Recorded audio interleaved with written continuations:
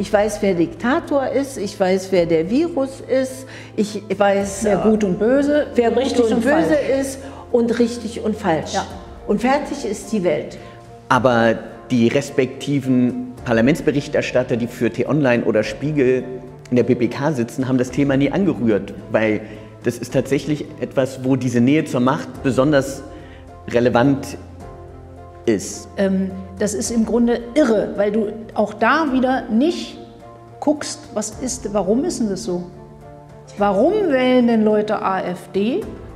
Das ist doch die eigentlich viel interessantere Frage. Na klar. Und vielleicht müsste man daran gehen. Und, und wo, sind denn, wo liegen denn die Ursachen dafür, dass Leute AfD wählen? Hat es vielleicht auch was damit zu tun, mit der Politik der Regierenden zu tun, die die letzten Jahre betrieben worden ist?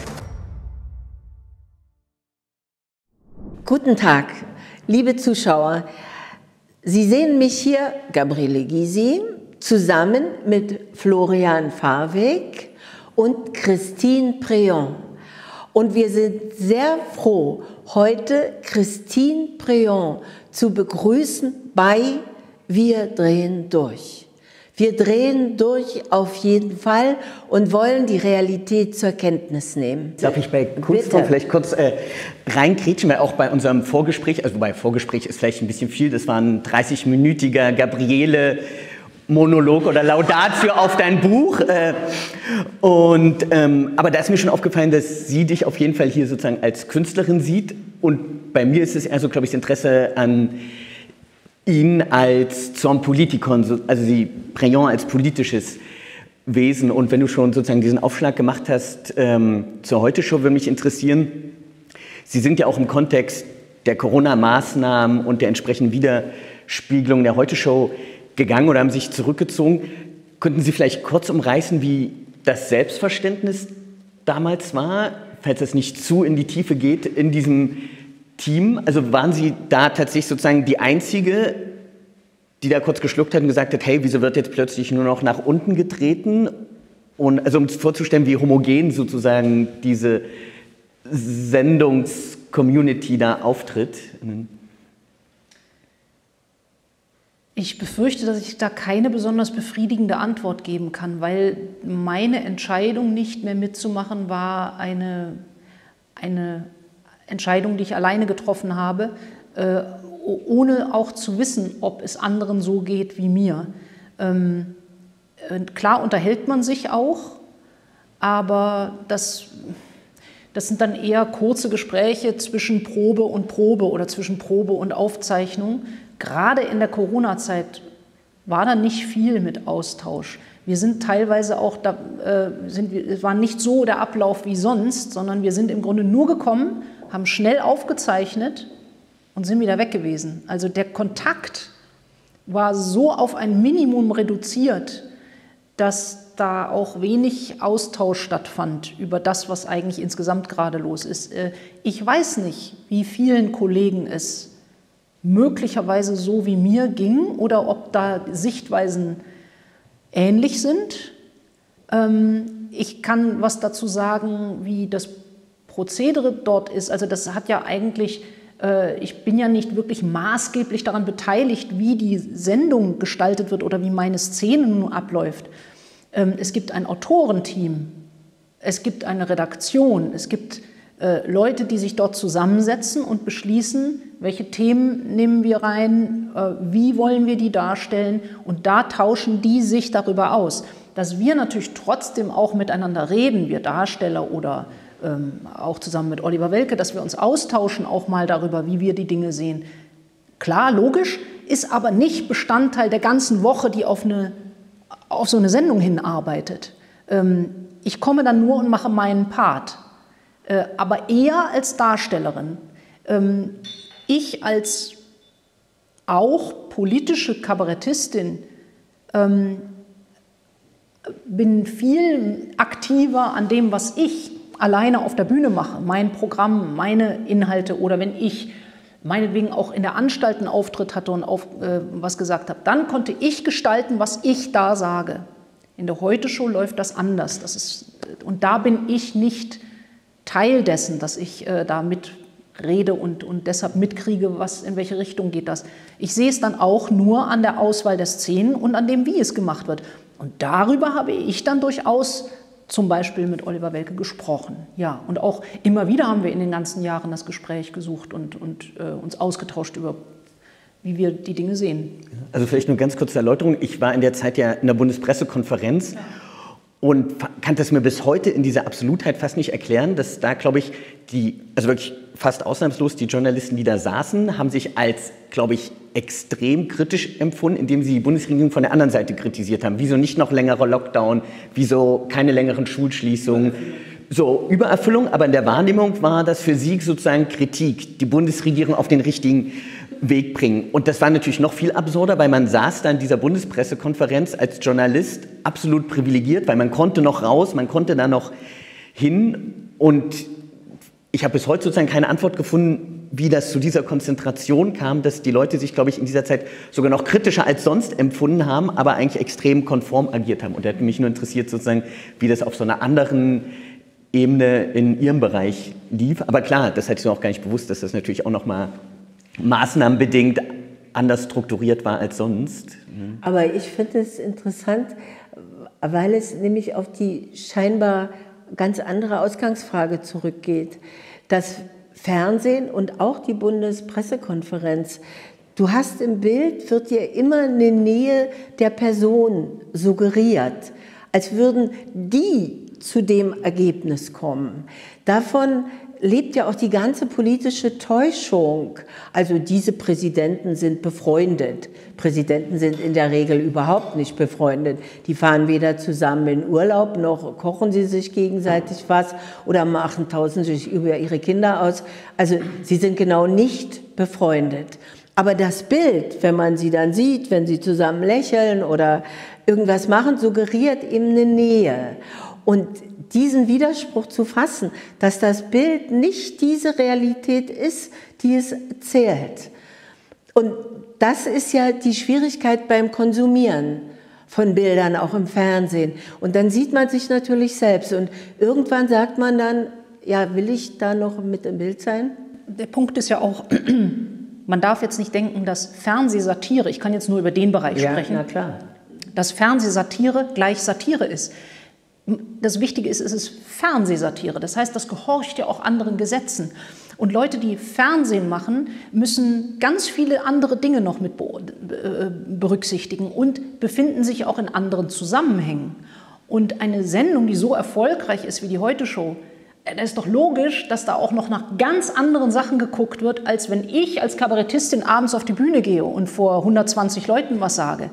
Da kann ich mir ganz anders überlegen, was will ich denen wirklich sagen, dass ähm, eine erfolgreiche Sendung natürlich auch weiß, was sie sagt, damit sie weiter auch erfolgreich bleibt. Dass das sie erfolgreich bleibt und erfolgreich bleiben darf. So erfolgreich bleiben darf, ist doch auch klar. Also da spielen ja noch ganz andere Sachen eine Rolle. Insofern würde ich nie Fernsehsatire mit Satire gleichsetzen, weil es da anderen, da sind andere Gesetzmäßigkeiten und andere Interessen. Ganz entscheidend, andere Interessen.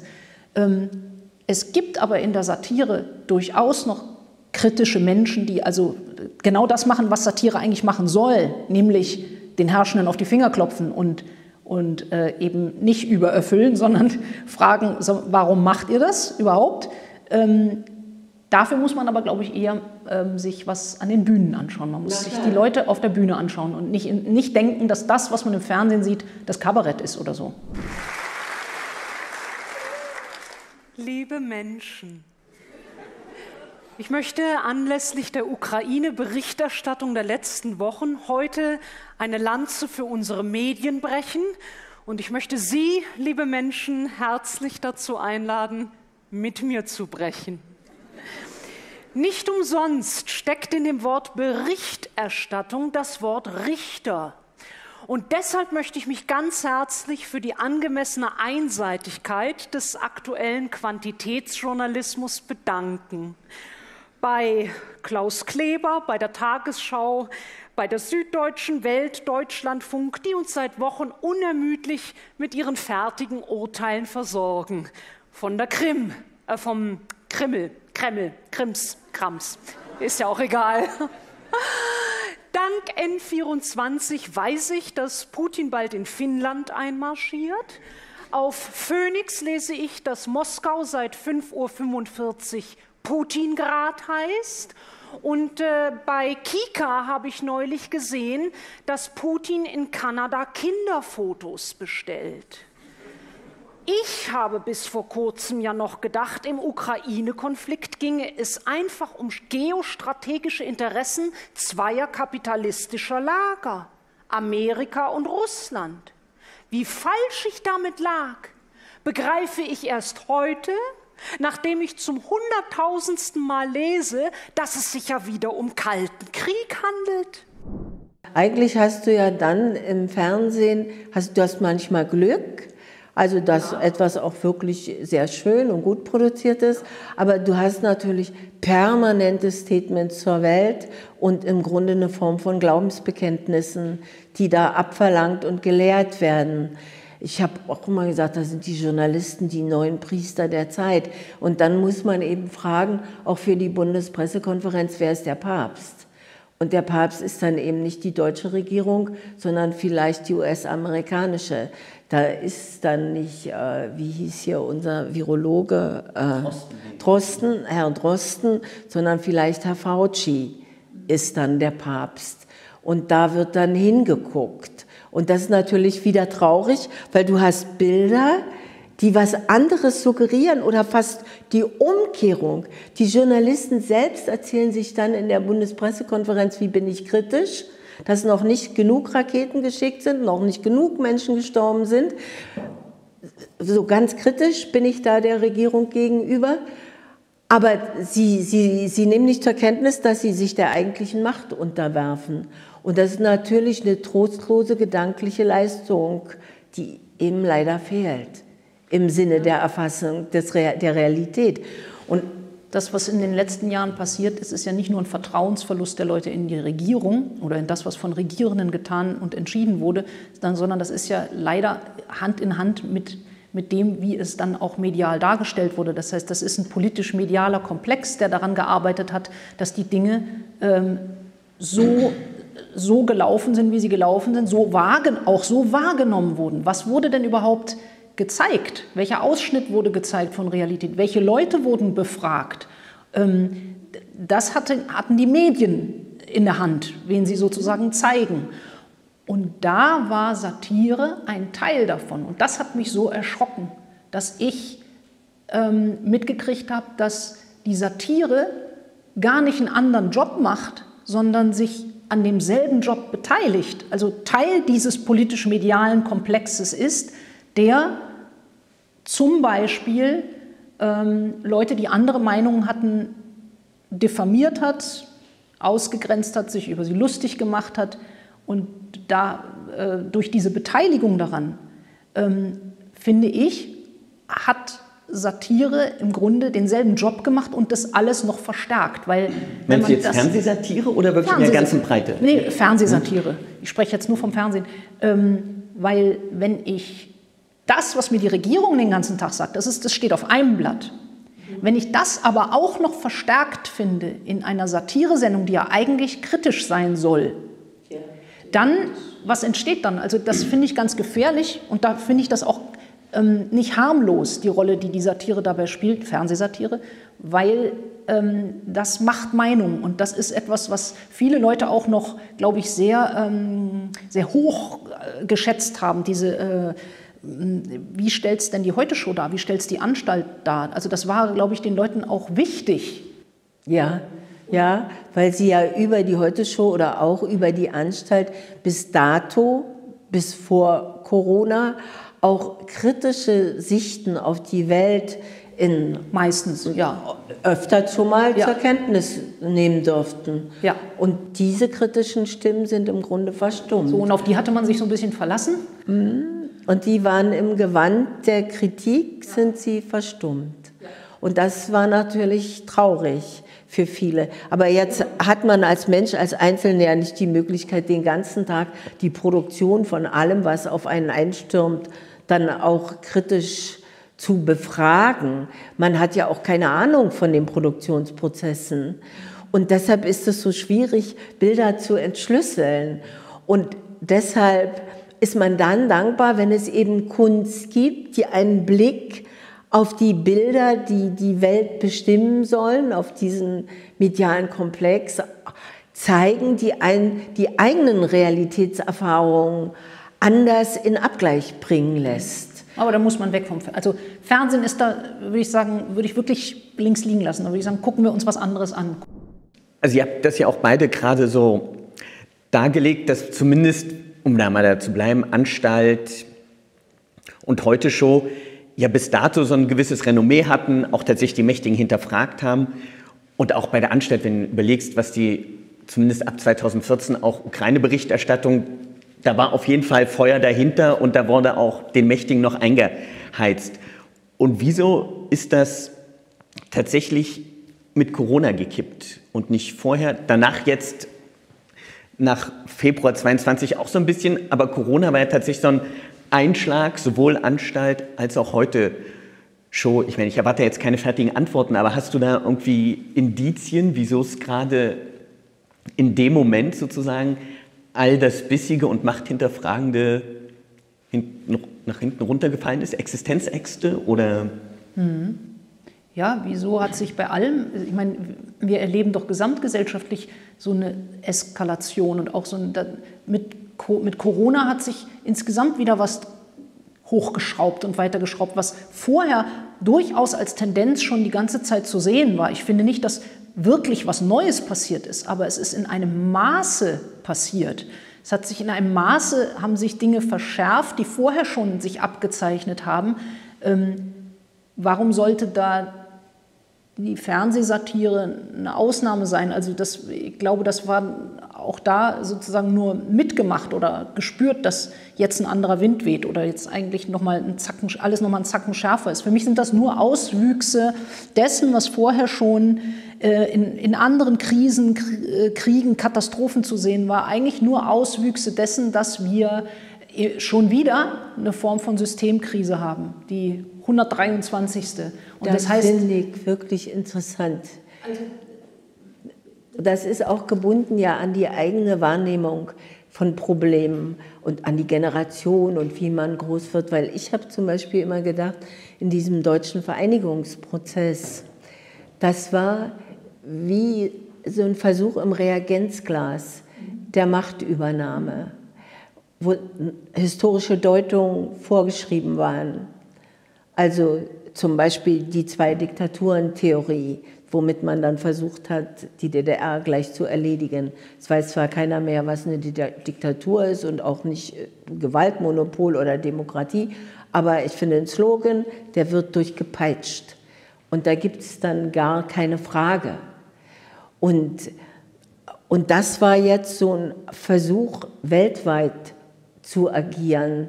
Und da gibt es ja so viele politische Aspekte in dieser entsetzlichen Corona-Pandemie. Also ich meine, der amerikanische Kongress beschäftigt sich jetzt Gott sei Dank auch damit, weil die gehen ja immer dem Geld hinterher und fragen jetzt, wo Herr Fauci wofür Geld ausgegeben hat. Und das ist ja auch mal wichtig zu wissen. Und wie denn der amerikanische Leiter dieses Instituts in China die Experimente, die die Amerikaner dort geleitet und gemacht haben, zu begründen weiß. Ja, und dadurch kommen dann natürlich immer neue Zusammenhänge ans Tageslicht. Und die Territorien, auf denen agiert werden soll, werden immer größer und gewaltiger. Und ja, und dann kann man Florian fragen, wie kommen die dann in die Bundespressekonferenz? Also was, was ist da noch übrig an Fragestellungen, die überhaupt erlaubt ist? Weil ich kann zum Beispiel für mich einen, einen Satz nur sagen, ich staune über die Welt und über diejenigen, die vorgeben, uns ideologisch zu führen, dass sie kein Erstaunen mehr kennen. Für sie ist alles klar. Ich weiß, wer Diktator ist, ich weiß, wer der Virus ist, ich weiß, wer gut und böse, wer gut und, und böse ist und richtig und falsch. Ja. Und fertig ist die Welt. Und was daraus folgt, ist Unterwerfung oder nichts. Ich würde diese Frage, mit der, die Sie mir gestellt haben, mit der, wann, ähm, warum das so plötzlich dann ein Unterschied war ab Corona, die würde ich gerne zurückgeben an Sie als Journalist, ob das nicht zeitgleich genau dasselbe zu spüren war im Journalismus, dass sich etwas ab Corona nochmal massiv verschoben hat. Ob dann nicht ab dem, ich frage jetzt total suggestiv, ob nicht ab dem Moment äh, zu spüren war, es ist klar, worüber wir berichten müssen, damit wir den Job nicht verlieren, damit, äh, weiß ich nicht, also dass, dass irgendwie nicht jemand gesagt hat, du redest ab heute nur noch darüber, sondern jedem instinktiv klar war, ich muss das und das sagen oder schreiben. Ja, also zumindest in Bezug auf die BPK, das ist schon ein eigenes Völkchen, ne? weil das ist, glaube ich, so das Völkchen im Journalismus, das am nächsten an der Macht ist, die auch gerne im Regierungsflieger mit Annalena sitzen. Also das ist, glaube ich, so, noch mal weniger repräsentativ, weil das... Ja, also es ist wirklich äh, bei allem Respekt der Kollegen da gegenüber, aber das merkt man zum Beispiel auch, äh, kurzer Exkurs, Thema Cum-Ex. Ne? Da gibt es ja durchaus auch Spiegel-Kollegen oder selbst T-Online, die da kritisch zu recherchiert haben, aber die respektiven Parlamentsberichterstatter, die für T-Online oder Spiegel in der BBK sitzen, haben das Thema nie angerührt, weil das ist tatsächlich etwas, wo diese Nähe zur Macht besonders relevant ist. Und das war aber auch schon vorher spürbar, weil eine kritische Frage verhindert vielleicht dann den viel wichtigeren Schritt, der kommt nämlich nach der BPK. Da geht man dann sozusagen zum Vier-Augen-Gespräch ans Podium und bekommt da vielleicht die sinnvolleren oder zielführenderen Informationen und dann vielleicht auch noch exklusiv, als jetzt bei laufender Kamera jemand kritisch zu hinterfragen. Das ist einmal nicht Teil des Systems, würde ich sagen. Also das als Vorspann, um zu sagen, dass die BPK, fand ich, also zumindest seit ich da war, schon immer dadurch geprägt war, dass zumindest diese sagen wir, Leitmedienvertreter schon immer sehr angepasste Fragen gestellt haben, auch weit über dem bundesdeutschen Durchschnitt hinaus. Und aber um da trotzdem irgendwie halbwegs vernünftig darauf zu antworten auf Ihre Frage, fände ich schon, dass das ab 2014 zugenommen hat, soweit ich das beobachten konnte. Ich war erst ab 2018 da, aber schon tatsächlich so Beginn Ukraine-Krise 2014 war das nochmal, wo, da gibt es ja auch entsprechend, ich glaube, Böckler Stiftung hatte das ja auch, wo klar war, alle Dialektik oder zwei Quellen Ansatz, vergiss es, wir befragen jetzt nur Maidan-Befürworter und das reicht auch, weil das sind die Guten und und genau dieses Denken in festen Schablonen hat sich auf jeden Fall verstärkt, aber ich würde sagen, beim Journalismus früher als in der Satire, weil sozusagen die Anstalt noch ziemlich lange, fand ich, sehr dialektisch mit dem Thema Ukraine-Krieg und auch nicht, hey, da gibt es nur einen bösen Aggressor und der Rest sind Freiheitshelden, sondern das war noch, also da war noch was, was mit, tatsächlich erst ab Corona verloren gegangen ist. Aber einen wirklichen Erklärungsansatz, wieso gerade bei diesem Thema und ich glaube auch nicht, zumindest in meinem Erleben war das wirklich, also beim Paar wird das so gewesen sein, so eine innere Zensurschere, aber die meisten waren tatsächlich Überzeugungstäter, also Täter jetzt nicht äh, für die Zuschauer zu schwer äh, bewerten, aber tatsächlich, die haben da aus Überzeugung diese Fragen gestellt, wann denn bitte noch stärkerer Lockdown und du, du, du, du. Ist das Deutsch oder was? Vielleicht ist es auch bis zu einem gewissen Grad, also irgendwas Deutsches ist schon dabei. Das, das merke ich an ganz vielen Themen, weil die ausländischen hm, Journalisten in der BPK stellen kritischere Fragen. Also auf jeden Fall. Also da ist so ein, ist jetzt auch kein großer Erklärungsansatz, aber also manchmal bin ich auch hilflos und denke mir, es muss auch tatsächlich so ein aber was preußisch-deutsches sein, was da irgendwie Wirkung tut. Das kommt ihm vielleicht entgegen. Aber was ich denke, was ich mir mache mir darüber auch immer, ich denke, wie geht das? Wie funktioniert diese Gleichschaltung? Und Gleichschaltung ist eben was anderes als ein Sprachdiktat, weil dann bewegt man sich außerhalb der Sprache und weiß, was diktiert wird. Aber das ist ja, das ist ja gelebt. Und, und es internalisiert, also von, ja. ist auch keine Gleichschaltung, bin ich mir ziemlich sicher, sondern die sind schon gelebte Gleichschaltung ist Linie eben gelebter. Was als, fällt denn da hier runter? Ups, das ist der Ton. Sorry für die Tonumstände, aber... Macht nichts. Aber, aber was ich dachte ist, was da passiert ist, der Versuch, sich mit Macht zu identifizieren. Und da hatte ich ja ein Beispiel eben, was, ich, was mich so darauf aufmerksam gemacht hat, das war die Bombardierung Jugoslawiens, wo die Ostdeutschen eben dagegen waren im Wesentlichen und die Westdeutschen dafür. Und da dachte ich immer, weil die Ostdeutschen sich mit der Ohnmacht, also mit denen, die bebombt werden, identifiziert haben und das situativ in ihrem Hirn dann abgeglichen haben und haben gesagt, nee, ist nicht gut. Und äh, in Westdeutschland wurde sich dann zum größten Teil mit der Macht identifiziert, die nämlich entscheidet, wo die Bomben hingeworfen werden. Und zwar um Gutes zu tun, wie gesagt. Aber es sind verschiedene äh, Momente der Identifikation oder Empathie, um etwas situativ zu erfassen, weil das müssen wir als Menschen leisten oder leisten wir auch, sonst könnten wir nicht überleben. Also sonst hätten wir auch nicht überlebt, wenn es diese Fähigkeit nicht gäbe. Und ja, da sind die Journalisten eben verführt, aus der Position der Macht heraus sich zu identifizieren und die Welt wahrzunehmen. Und auch in der Illusion wahrscheinlich der eigenen Schöpfungs, des eigenen Schöpfungsaktes. Also, dass sie selbst das Gute mitschöpfen, indem sie sich mit der Macht identifizieren. In meinen Augen selbstverständlich der größte Irrtum, der einem gelingen kann, aber häufig, sehr, sehr häufig. Und vielleicht ist dann die Identifikation mit der Macht in Deutschland besonders groß und war in der DDR besonders niedrig, weil die Macht in dem Sinne nie die Macht hatte. Und weil die Leute viel mehr zwischen den Zeilen lesen konnten. Das ist, glaube ich, auch ein Unterschied sozusagen der Sozialisierung. Wie gehe ich mit, ja. mit dem Medienkonsum über? Und da hat der Oberstudienrat irgendwie in Oberschwarm, der hat die Zeit so gelesen, wie die Zeit, das Zeitfeuilleton halt war. Wohingegen jeder der Unterstufenlehrer, jeder, also selbst der Überzeugteste, hm? war in der Lage, das subtiler, kritisch das kritisch zu lesen. Das ist ja, und ist es nicht auch ganz banal einfach so, man hatte diese Existenzängste nicht? Also wenn, wenn ja, du Journalist warst, warst du halt Journalist. Wenn du Arzt warst, warst du Arzt und du hattest deinen Job. Ähm, ich sage das jetzt mal ganz platt und auf einen. Ab, und hier ist das nicht so. Du hast im Grunde immer, der schwelt immer so eine Unsicherheit mit.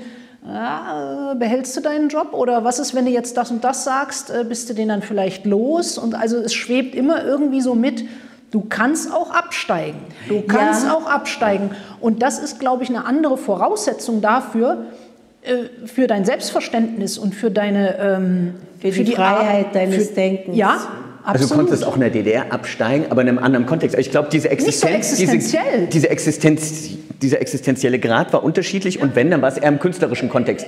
Und den gab es Auftrittsverbote und vielleicht, aber, aber nicht in diesem Maße. Ich glaube, im Unterbewusstsein und vor allen Dingen, es gab halt auch, also auch sozusagen DDR-Bildungsbürger hat sich im Gegensatz zum Westbildungsbürger ja nicht dadurch unterschieden, dass er jetzt eine hohe Sparquote hatte. Also sie hatten ja nicht mehr Geld, sozusagen. Da war es wirklich sozusagen vielleicht der du Bildungskanon, aber du konntest nicht aus sozusagen aus so einem finanziellen Ding bist du nicht rausgefallen. Du bist, ja? hattest, hast keine existenzielle Bedrohung. Genau. Du konntest immer deine Miete bezahlen, du konntest immer mit der Straßenbahn fahren und du konntest immer was zum Essen kaufen und du hattest vor allen Dingen auch in der Bewertung eben keine Hierarchisierung, die den Besitz von Geld sowieso bewundert.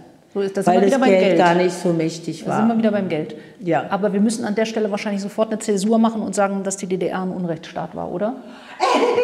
Das machen, so, wir, über das machen wir über Bauchbinde. Damit wir ja. bloß nicht falsch verstanden werden. Das ist werden. gut. Da kann ich jetzt Tucholsky zitieren. Ab 40 besteht der Mensch im Wesentlichen aus Berufskrankheiten und da merkt man, Sie haben beim Fernsehen gearbeitet. Ich zum Beispiel, ich, für mich gilt überhaupt gar kein Begriff. Ich kann das einfach sowieso nicht akzeptieren. Unrechtsstaat, was soll das? Wer verfügt darüber, was was ist? Zum Beispiel habe ich ja, neulich. Ich das nur wegen ja, ich weiß Zeit, ja, ne? äh, weil man sich sofort distanzieren muss und sofort klarstellen muss, wie man was gemeint hat. Aber genau.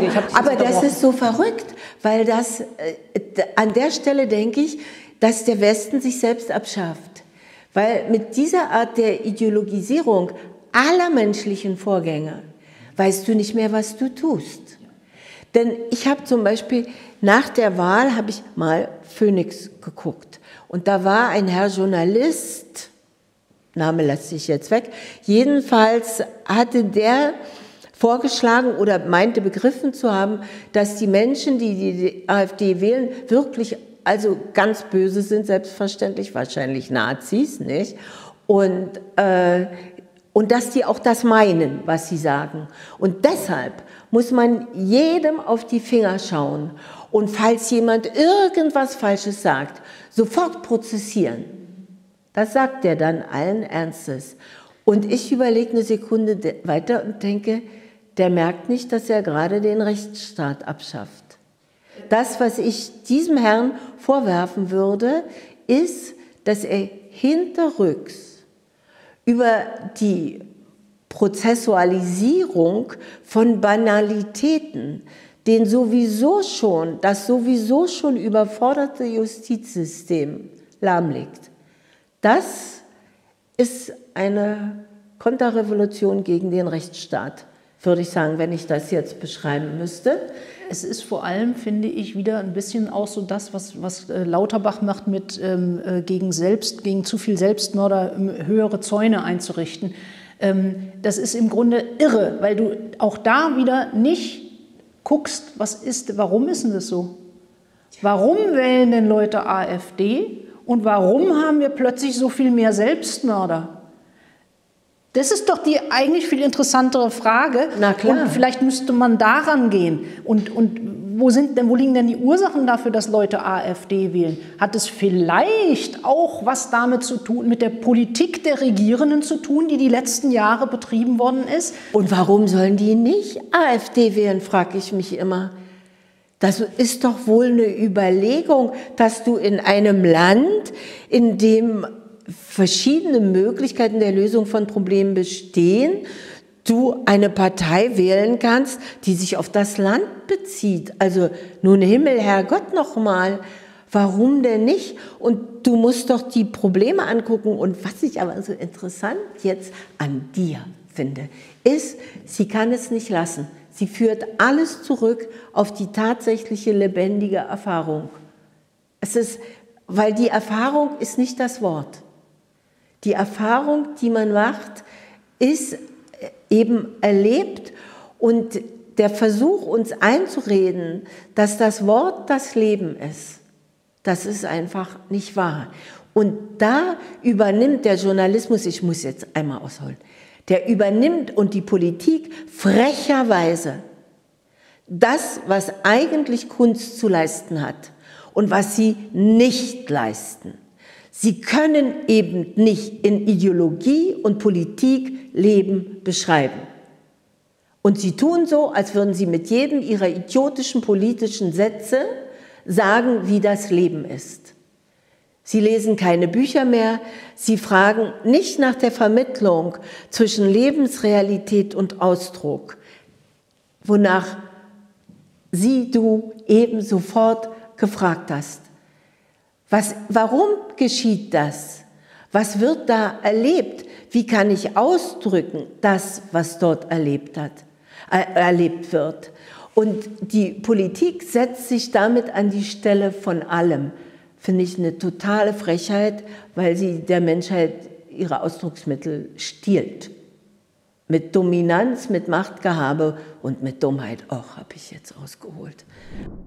Aber ich möchte jetzt trotzdem einen Sprung machen und nämlich das, was Politiker niemals gefragt werden dürften, wie fühlen sie sich? Niemals sollte es eigentlich Home Stories von Politikern geben oder wenn dann in kleinster abstrakter Form, möchte ich jetzt trotzdem mal fragen, mit deinem Schritt und auch mit der Tatsache, dass du dich mit der Krankheit und den Impfschäden so auseinandergesetzt hast, wie kannst du damit so leben und das dann umsetzen in Kunst? Das ist die einzige Möglichkeit. Das ist die Ausdrucksmöglichkeit, die mir zur Verfügung steht, die mir am vertrautesten ist, die ich am liebsten mag und ohne die ich wahnsinnig werde. Also ich, äh, ich habe ja auch nicht ein Buch geschrieben, weil ich gedacht habe, ich will jetzt ein Buch schreiben, sondern ich habe äh, in der Zeit gedacht, äh, bei all dem, was mir passiert ist, was irre war. Ähm, ich rede jetzt von den letzten zwei Jahren. Ähm, seit, seit zweieinhalb Jahren habe ich ja den, den Impfschaden. Und ich habe angefangen aufzuschreiben, was mir passiert ist und wie es mir damit geht, ähm, um nicht bekloppt zu werden. Ganz einfach. Und das hatte noch gar keine Form, das hatte noch gar keine Richtung und kein Ziel. Das hatte nur den einzigen Sinn und die einzige, äh, äh, ähm, ja, den, doch den einzigen Sinn, dass ich nicht wahnsinnig werde und dass ich einen Ausdruck dafür finde. Dass das dann nachher, dass ich mich nachher da, dafür entschieden habe, daraus ein Buch zu machen, einfach weil ich gedacht habe, naja, das ist ja was, was, es geht ja vielen so und vielen steht aber dieses Mittel nicht zur Verfügung, äh, sich so auszudrücken. Äh, viele sind auch einfach so krank, also selbst wenn sie keine Künstler sind, sind sie aber so krank, dass sie gar nichts mehr können. Ähm, dann habe ich gedacht, es braucht eine Stimme für das. Und deshalb habe ich es dann zu einem Buch gemacht und öffentlich gemacht. Ähm, aber das ist sozusagen kein Widerspruch, sondern das ist die logische Konsequenz für mich, dann zur Kunst zu greifen und zu sagen, wie kann ich ähm, wahr, wie kann ich anders noch Wahrheiten äh, formulieren? Wie kann ich äh, mich verständigen mit Leuten über das, was uns umgibt? Wie kann ich das begreifen, was passiert? Das ist für mich am ehesten machbar mit der Kunst. Weil all die Worte, das, das Explizite darüber sprechen, das ist gut, das ist wichtig, aber mir reicht das nicht. Ich denke, dass es, ähm, da, wird, da bleibt immer auch etwas auf der Strecke, was nur die Kunst schafft.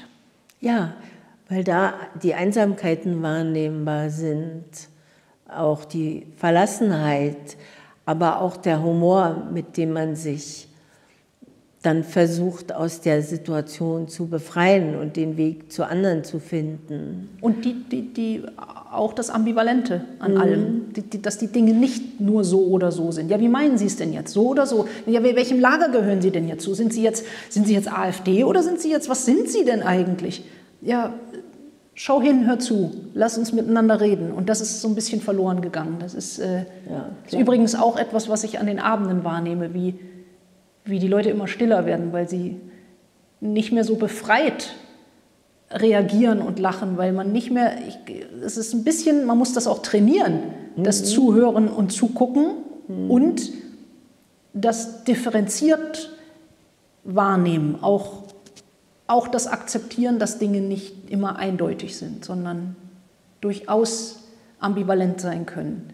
Das ist aber eine Kunst, die muss man trainieren. Liebe Chrisine, das ist ja schrecklich. Trauer-Smiley, Trauer-Smiley. Hast du das mal beim Arzt abklören lassen? LGG.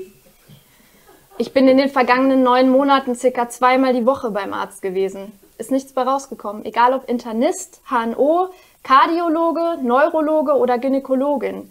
Bis auf einen kleinen Perikarderguss kurz nach der Infektion waren alle Befunde unauffällig. Aber das ist ja schon mal super. Das heißt ja wenigstens, du hast nichts mega Schlimmes. Du hattest ja, du hattest ja auch echt viel Stress die letzten Jahre. Vielleicht ist das mehr so eine psychosomatische Sache. Was meinst du, LGG?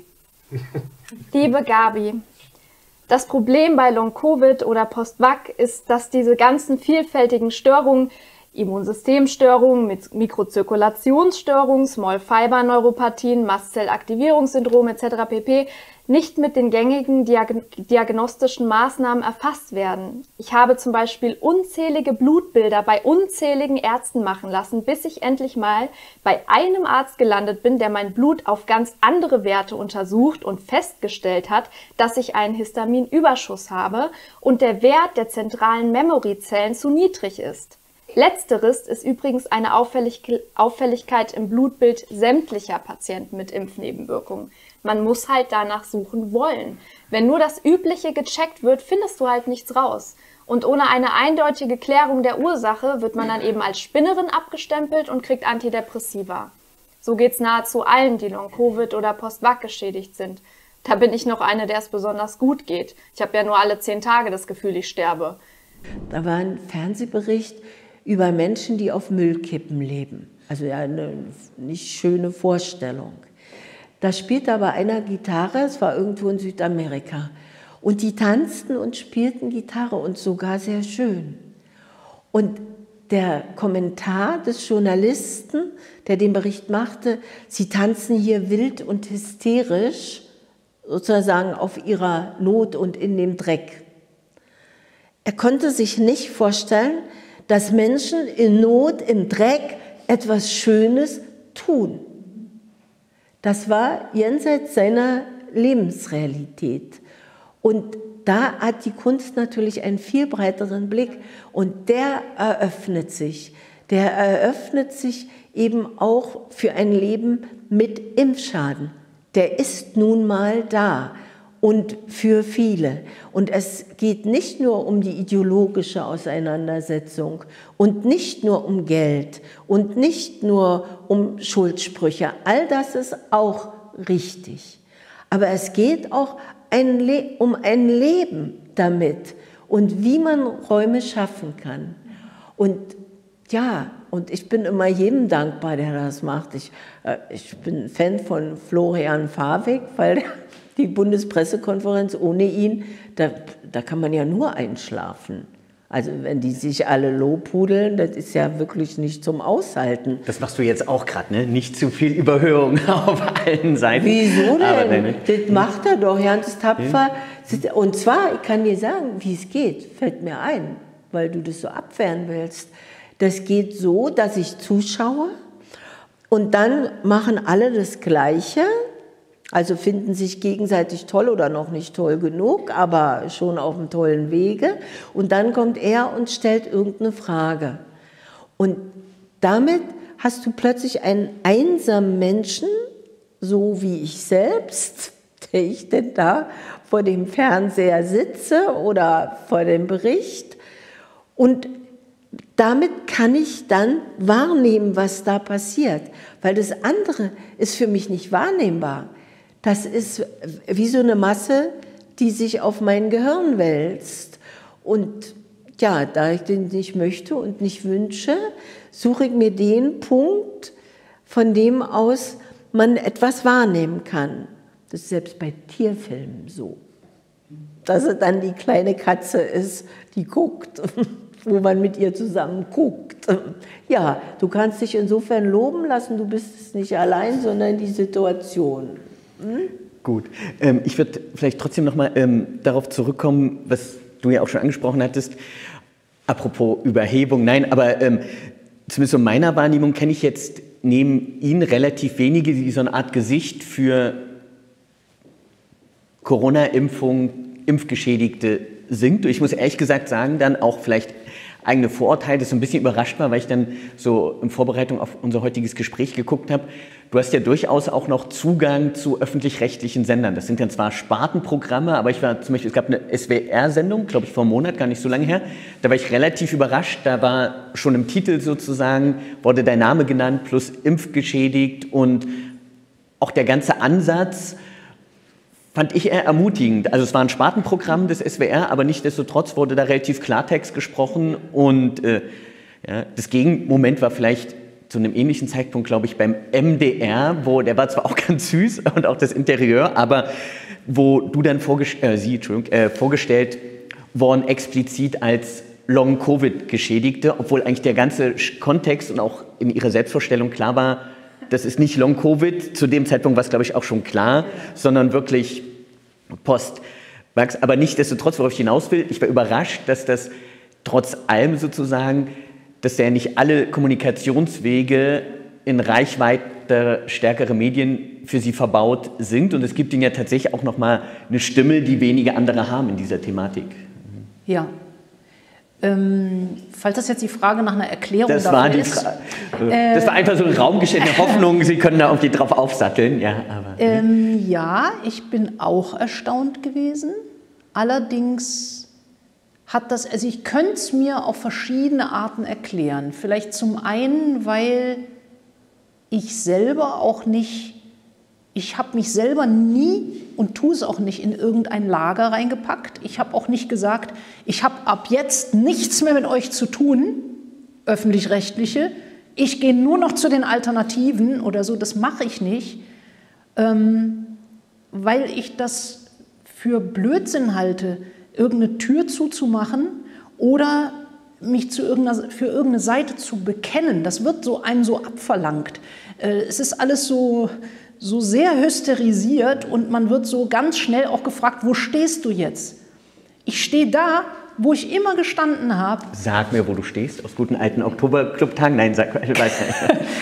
ähm, ich möchte, dass man miteinander reden kann nach wie vor und ich möchte auch, dass da noch Brücken sind zwischen dem und dem und dem und dem und dass es nicht hier öffentlich-rechtlich und da alternativ gibt. Ich weiß, es ist mittlerweile so, dass ganz viele, äh, ganz viele Dinge voneinander getrennt sind und dass es Lager gibt. Ich will das aber nach wie vor anders leben weil ich mich sonst auch daran beteilige, wenn ich mir jetzt auf irgendeine Seite schlage. Und es ist so. auch so blöd. Es wieder. ist bescheuert und so kommen wir auch nicht weiter. So werden wir kein Problem lösen. Und das heißt, ich finde, es ist nach wie vor extrem wichtig, sowohl da zu hören zu sein, als auch da und mit allen ins Gespräch zu kommen. Und vielleicht war das auch, ähm, vielleicht bin ich auch noch so wahrgenommen worden so, dass ich nicht wirklich irgendwo einzuordnen bin und dass ich auch nicht wirklich, oh Gott, die ist bei der Heute-Show ausgestiegen, die ist ja jetzt äh, Schwurbelabteilung, jetzt geht die bestimmt nur noch dahin. SA, um das Buch mal zu zitieren. SA. nee, ich rede ich rede gerne mit denen und denen und denen. Es gibt Leute, mit denen ich nicht rede, natürlich, suche ich mir auch aus. Aber es gibt nicht die Abteilung ähm, nur noch da oder nur noch da. Und ähm, es gibt aber auch Zufälle, also das zu einem anderen Erklärungsansatz. Ich weiß zum Beispiel hintenrum, ich werde es jetzt nicht er erzählen, weil mir das auch nur im Vertrauen gesagt wurde, aber es gibt auch ähm, Interviews, die nur, nur durch Zufälle noch stattgefunden haben, die eigentlich nicht hätten stattfinden sollen, wo eigentlich gesagt wurde, nein, auf keinen Fall, das geht gerade gar nicht. Äh, so die Préant hier. Und das ist aber eine große Hoffnung. Dann gibt es auch im öffentlich-rechtlichen Fernsehen noch Schweg. Was heißt das denn? Das ist, äh, ja, der soll brave Soldat ach, ach, werden. Der. Ich habe gerade gedacht, das ist ein Wort irgendwie. Was, nein, nein, nein, nein. verstehe. Das. Ja, okay. Bitte? Nein, es gibt, es gibt tatsächlich immer die einzelnen Leute, die gibt es überall. Die einzelnen Leute, die irgendwo sitzen und dann sitzt doch irgendwo jemand in der Redaktion zum Beispiel und sagt, doch, doch, das, das machen wir und das kriegen wir so und so und so hin. Aber das ich finde, es. also ich bin natürlich ganz Ihrer Ansicht. Es geht, man du wolltest hat, duzen, ne? hat mir am Anfang Ja, muss die ganze Zeit geduzt. Ja, also es, es ist einfach so, man, man muss mit jedem Menschen sich beschäftigen und auseinandersetzen. Die Frage ist auch nicht, wie der Einzelne ist, sondern wie die Macht verteilt ist. Und dann muss man die Frage nach der Macht stellen und nicht nach der Person. Also ich glaube zum Beispiel, die wichtigste Macht für den amerikanischen Präsidenten sind seine Begleiter, die ihm zeigen, wo die Türen sind und so weiter. Und der, der Teleprompter, der ist auch wichtig. Aber das geht nicht, dass man sich nicht auseinandersetzt mit dem, was Menschen tun. Man ist Teil dieser Gemeinschaft und nur kurze Zeit auf der Erde. Und, und jeder, der vorgibt, dass er eine geistige Endlösung zu bieten hat, der sollte in sich gehen und nachdenken und fragen, worin er sich gerade täuscht. Und deshalb sehe ich überhaupt keinen Grund, sich mit irgendjemandem nicht zu unterhalten. Äh, Rupert Scholz hat mal gesagt zur Meinungsfreiheit jetzt in einem Rechtsstaat, wenn denn die Bundesrepublik einer sein will, äh, die, die Grenze der Meinungsfreiheit ist das Strafrecht. Ansonsten muss alles denkbar sein. So, es gibt natürlich Grenzen. Es gibt Leute, mit denen würde ich mich nicht mehr unterhalten. Ne? Ja, die musst du ja auch nicht. So. Aber es ist dann nicht Aber deine Aufgabe, genau. über sie zu richten. Das ist, da kommen wir in den Bereich. Wenn jemand, was Ja. weiß ich, irgendwie voll, vollkommen volksverhetzende, menschenverachtende Dinge sagt, da habe ich auch keine Lust mehr. Dann unterhalte ich mich auch mit so jemandem nicht. ja, dann sagst du in der Regel auch trink weniger. Äh, so, genau. Und aber warum hast du heute so schlichte Laune? Ja, Also, aber viele Leute sind doch noch erreichbar und, und, da, und da würde ich mich sogar gerne mit unterhalten und fragen, warum. Es gibt Leute, mit denen habe ich mich schon unterhalten habe gefragt, warum, wie kommst du darauf, mit dem, was du mir jetzt gerade alles gesagt hast, wie kommst du darauf, in Erwägung zu ziehen, die AfD zu wählen? Das interessiert mich wirklich. Ich frage es nicht rhetorisch. Ich will wissen, warum du das für eine gute Partei hältst, die uns damit helfen würde, mit den Dingen, über die du gerade sprichst. Und dann unterhalten, dann kommen wir an den Kern. Das ist nämlich der Punkt. Lass uns konkret darüber sprechen. Was ist wichtig, worauf kommt es an, was wollen wir denn? Und wo- sind irgendwelche Probleme? Und dann kann man konkret darüber sprechen. Ich würde zum Beispiel sagen, ähm, wenn man glaubt, die AfD würde bestimmte Probleme, die wir haben, lösen, ist man wahrscheinlich, kommt man mit denen mit großer Wahrscheinlichkeit nicht weiter. Das Ding ist, wir brauchen trotzdem nicht darüber zu reden, dass die, die gerade meinen, unsere Probleme zu lösen, die Grünen zum Beispiel, ähm, ist eigentlich wurscht, Die was wir Probleme sagen. Grüne nicht CDU ist lösen. jetzt eigentlich wurscht, egal. Ja. Äh, die lösen unsere Probleme auch nicht. Sie lösen sie nicht, sie schaffen sie. Sie schaffen denn sie. sie haben die Macht. Ja, da muss man auch sagen, Sie haben dieselben Lösungsansätze. Ne? Also Ja. da wird du, du, da wird du, du AfD gemacht, aber wenn ihr irgendwie sozial- und wirtschaftspolitisch ist das mit leichten Nuancen derselbe Brei. Ne? Ganz und das sind ja genau. die zentralen Elemente eigentlich für, wie es diesem Land hier geht. Naja, und wieder sind wir bei demselben Ding. Das sind alles Interessen im Sinne des Kapitalismus, also im Sinne der, der Weiterführung dieses Systems. Im Grunde müsste man dann aus diesem Ding raustreten und sagen, okay, worum geht's und, und wo wird die Veränderung stattfinden? Die wird wahrscheinlich nicht von Parteien ausgehen. Wir werden uns nicht an irgendwen ranhängen können und sagen, ah, der wird's dann machen, sondern wahrscheinlich wird, werden größere Veränderungen, gesellschaftliche Veränderungen nur aus der Gesellschaft selber kommen können. Na gut, aber die ist ja machtpolitisch strukturiert. Und dann Muss ja nicht bleiben. aber so ist es äh, im Moment. Und gleichzeitig sind die Prozesse auch so kompliziert. Also die Menschen brauchen schon Strukturen, in denen Arbeit stattfindet. Die Prozesse sind, die Arbeitszeitenprozesse sind so riesig. Und sie werden eben im Moment gelenkt über die Verteilung von Geld vor allen Dingen. Und da, können ja politische Forderungen daraus erwachsen. Ich finde zum Beispiel eine ganz wichtige Forderung BlackRock raus aus Europa. Es kann nicht sein, dass Frau von der Leyen Herrn Lorenz Fink holt und der die europäischen Probleme mittels Black- BlackRock löst, dass BlackRock ideologische Probleme diktiert, dass äh, wir reden von Nationen, die interessieren BlackRock überhaupt nicht mehr. Sie versuchen den Regenbogen als Weltfahne und ihre finanzpolitischen Operationen zu setzen.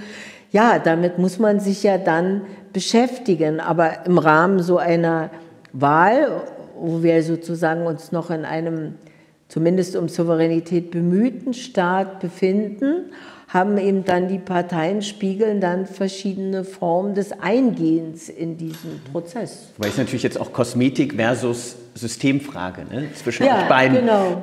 Genau, aber Kosmetik äh, ist auch äh, ist ja nicht falsch. Also Kann man machen, wenn man die Systemfrage nicht vergisst.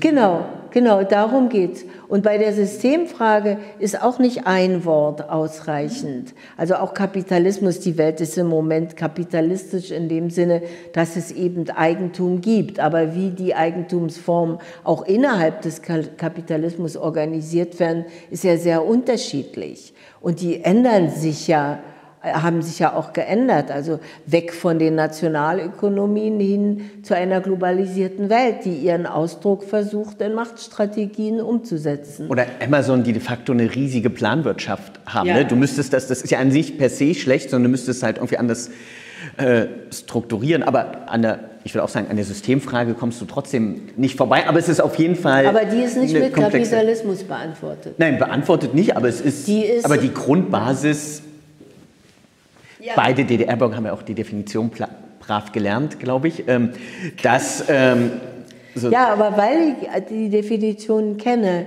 weiß, kann ich meines Erachtens mit Sicherheit sagen, dass sie nicht ausreichen und dass es ganz verschiedene Formen der Arbeitsteilung und auch der Spiegelung gibt. Und im Moment, und ich äh, würde denken, wir müssen die auch nicht beantworten. Was wir aber wirklich müssen, ist sie immer wieder neu stellen.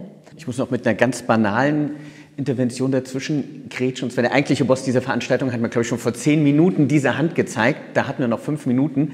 Das heißt, wenn, wenn es uns irgendwie gelingt, in den nächsten Minuten ein profundes Schlusswort na, daran soll es jetzt nicht zu liegen. formulieren. Ja? ja, also da kann ich. Was aber der Gast haben sollte, oder? Ja, gut, schieben wir dem Gast das zu, aber erstmal sagen wir, dass wir uns freuen, dass Christine Préon unser Gast war, wenn es auch nur Selta gab.